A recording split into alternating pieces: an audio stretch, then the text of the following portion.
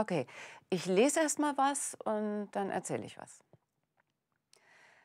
Ein schizophrener Dichter namens Merz geistert durch die Kapitel dieses Buches. Er stammt aus dem Roman Merz von Heiner Kipphardt und ist mein Lieblingsheld. Für Kipphardt, seinen Schöpfer, ist Verrücktsein sozial verursacht. Er glaubt, dass sensible Menschen an dem zerbrechen können, was Familie und Gesellschaft mit ihnen machen. Merz hat als Kind eine Hasenscharte.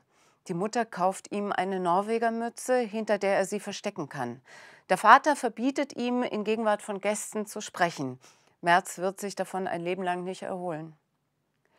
Mir ist der Mann mit der Hasenscharte nah. Warum nur? Ich bin ja gar nicht zerbrochen. Ich bin ja gar nicht verrückt geworden. Aber es hätte ebenso gut mich treffen können. Merz ist ja nicht verrückt, weil er anders ist. Er ist verrückt, weil ihn der Versuch, so zu werden wie die anderen, zu viel Kraft gekostet hat. Wird man etwa allein vom Normaltun verrückt? Juckpulver im Gehirn nicht kratzen, notiert Merz. Aber das ist leicht gesagt.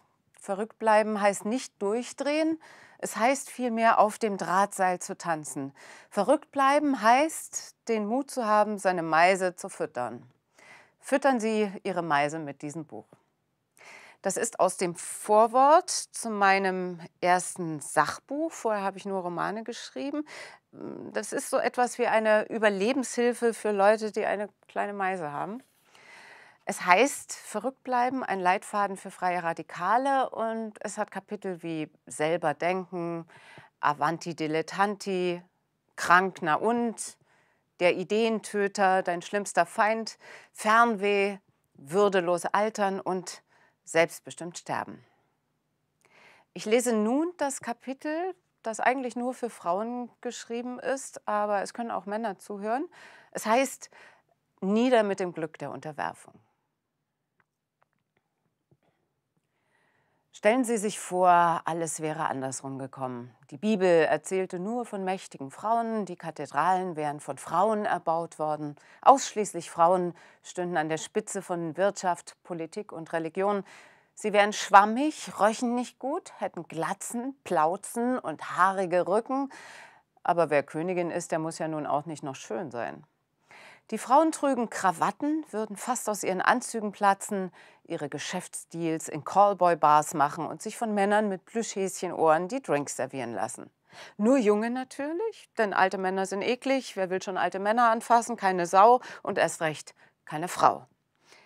Unsere Lustknaben müssten mit den Ärschen wackeln, enthaarte, durchtrainierte Brüste zeigen und enge, penisumspielende Hosen, die uns scharf machen sollen. Selbst wenn Sie in Harvard studiert hätten, 20 Sprachen sprechen und einen IQ von 220 vorweisen könnten, wir würden Sie nie Karriere machen lassen. Einfach nur, weil Sie Männer sind. Wir würden das Gerücht streuen, dass Männer kleinere Gehirne haben und nur für die Aufzucht von Kindern geeignet seien. Wir würden männliche Models buchen, die in sexy Dessous auf Autohacks herumkröchen die Männer würden uns umschwänzeln, sie würden für uns kochen, unbequeme Stöckelschuhe und unpraktische Langhaarfrisuren tragen.